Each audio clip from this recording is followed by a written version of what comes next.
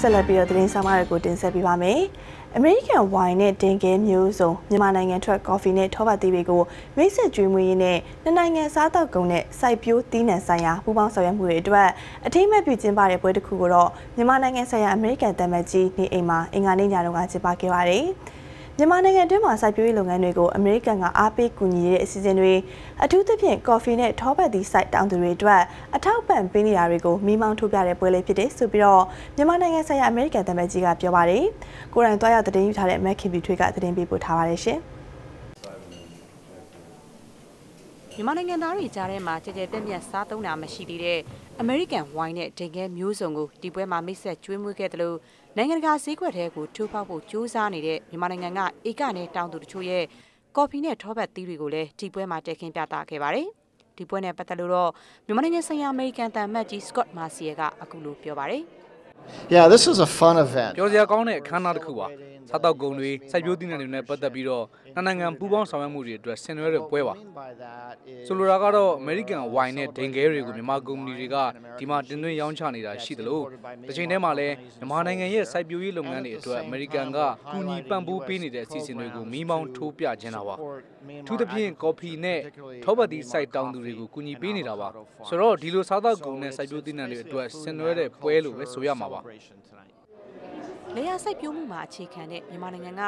နွမ်းပါတဲ့ကျေးလက်နေပြည်သူတွေအတွက်စားနပ်ရိက္ခာပူလုံစေဖို့ဝင်ငွေတွေတိုးလာစေဖို့နဲ့ကျေးလက်ဒေသဖွံ့ဖြိုးတိုးတက်စေဖို့အတွက်အမေရိကန်ပြည်ထောင်စုကကူညီထောက်ပံ့ပေးနေတဲ့အကြောင်းလဲတန်အမတ်ကြီးမာစီယာကပြောပါတယ်။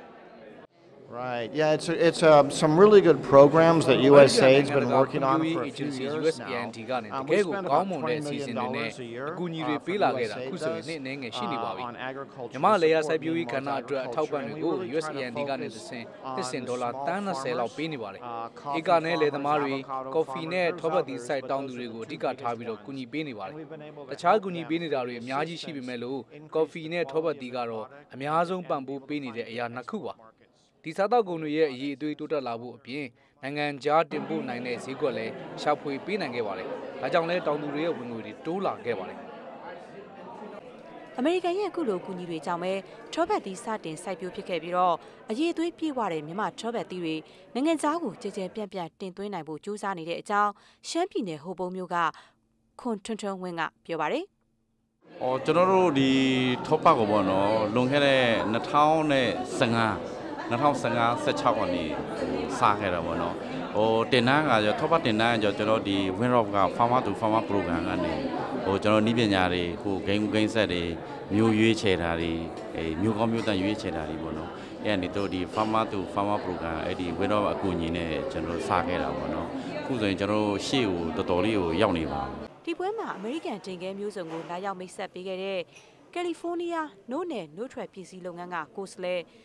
Miss Chirawi Anku Warakon ကတော့ American တင်ခဲတွေရဲ့အရသာနဲ့အာဟာရဖြစ်မှုကိုမြန်မာတွေပုံမူသိရှိလာပြီးတော့စားသုံးသူတွေပိုများလာဖို့ပြောနေတယ်လို့ပြောပါတယ်။ Is this amazing စားစားတစ်ခုပါ။ဟာရတက်အများကြီးပါတယ်လို့ပုံစံမျိုးစုံနဲ့လည်းစားလို့ရပါတယ်။ဟင်းနဲ့ထက်ချက်လို့ရတယ်လို့သူ့ကြီးပဲလည်းစားနိုင်ပါတယ်။ဝိုင်းဒါမှမဟုတ်ဘီယာနဲ့တွဲပြီးသုံးဆောင်နိုင်တယ်လို့အသီးကြောက်တွေအစိတ်အနှံတွေနဲ့လည်းတွဲစားလို့ရပါတယ်။စပစ်တီပန်းသီးနဲ့စပစ်ချောက်လိုအသီးနှံတွေနဲ့လည်းတွဲဖက်စားသုံးနိုင်ပါတယ်။ကိုကြိုက်တဲ့ပုံစံနဲ့စားလို့ရတယ်လို့အရသာရှိရှိစားသုံးနိုင်ပါတယ်